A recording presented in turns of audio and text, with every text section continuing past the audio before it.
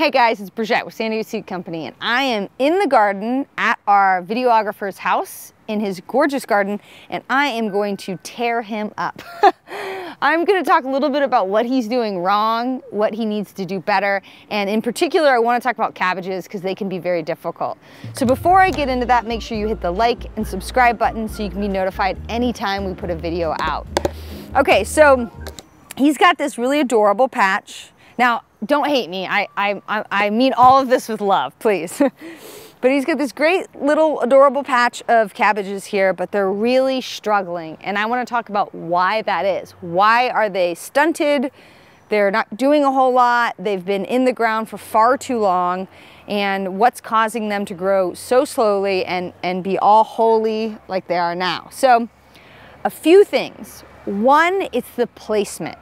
These were planted underneath this macadamia nut tree and also underneath the jacaranda tree. So we got two trees that are shading them. And now during the fall, that's a fabulous idea because they need that shade. However, now that we are in winter time, we just had uh, winter solstice, the sun is very low in the horizon and the days are very short and these plants simply are not getting enough sunlight. So they are, they are very stunted, they're not doing much at all.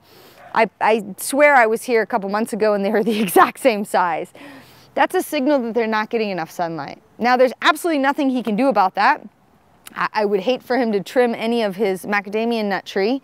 All he can do is leave them in the ground until the days get longer and they actually start photosynthesizing more and growing quicker.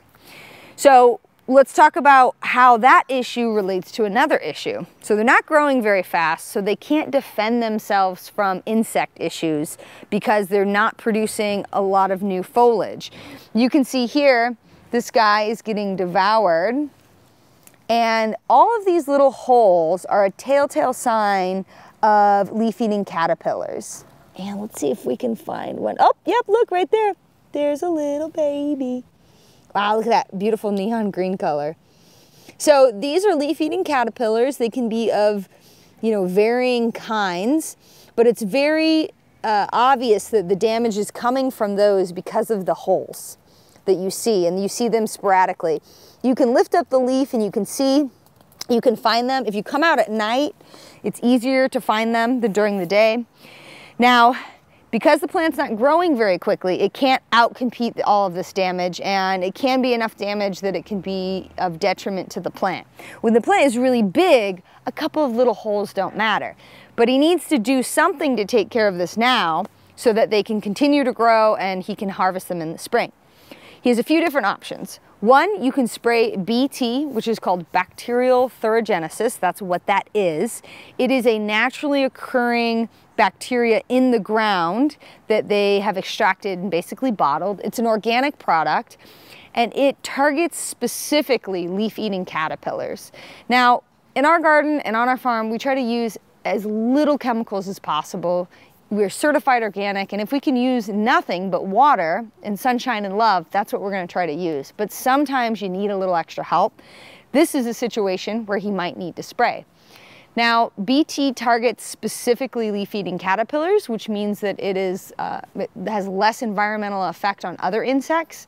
However, let's think about other leaf-eating caterpillars that are in the garden that we really love, like monarch butterfly caterpillars, swallowtail uh, caterpillars, those will all grow up to be butterflies that we love seeing in our garden. So you wanna follow the directions really well, read them, understand how to use the product and apply it specifically how you need. On the back of the bottle, it will give you all of that information. But if I was him, I would spray this so that it can bounce back and then I would cover this whole area with row cover. Why? Because I want to keep any more butterflies or moths from landing on the plant, depositing their eggs, and then those eggs turning into leaf-eating caterpillars and making the problem worse. So I can spray once, cover, and then let them do their thing and continue to grow. The other thing that I would do, not knowing what his soil is like um, fertility-wise, I would suggest first that you, um, you know, have the soil tested so that you know, but if you think that it's lacking in nutrients, I would put down a uh, organic granular fertilizer. Cabbages, cauliflowers, and broccolis are very heavy feeders.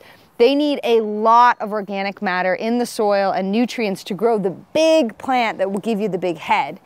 If your soil is lacking in nitrogen, potassium, phosphorus, or any of the micro or macronutrients, the plant will struggle.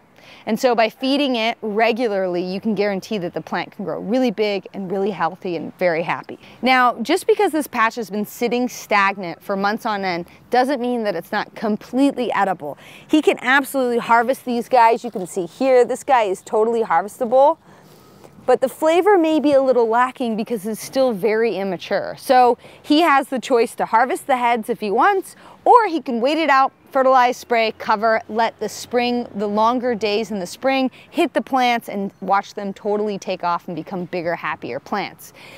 In this particular situation, I would ask myself, do I need this area for something else? If I was really excited to say plant garlic and I needed the space and I wanted to put garlic in, then I would go ahead and harvest them, plant the garlic so that I have another crop going and just enjoy these. These are perfectly good for making um, sauerkraut, um, making stir fries, anything like that. But if he doesn't need the space, who cares? Leave them, let them grow, let them do their thing and enjoy bigger, more flavorful heads in the springtime after the plants have been allowed to grow for a little bit longer. So one of the ways that you can ask yourself what's going on with the plants when you're thinking about sunlight, look at the plants and look and see how they're different in the particular area and then look and see which ones are getting more shade and more sun. So if you see here, the plants that are on this side, which are, are less shaded by the jacaranda tree and the macadamia nut tree, are much bigger than on this side. I mean, you'll see this guy is eensy teensy tiny because he's almost completely shaded by this macadamia nut branch that is hanging down. So take time in your garden and when you're not sure why something is happening, particularly when you're looking in a garden bed and you want to know why plants on one side are doing better than the other, really assess the area. Look for shade from neighboring trees, neighboring buildings, and remember that that shade changes throughout the year as the sun changes its location. It's, it's kind of a skill you have to develop, but over time you'll be able to look at a bed and really understand why one side might be doing better than the other.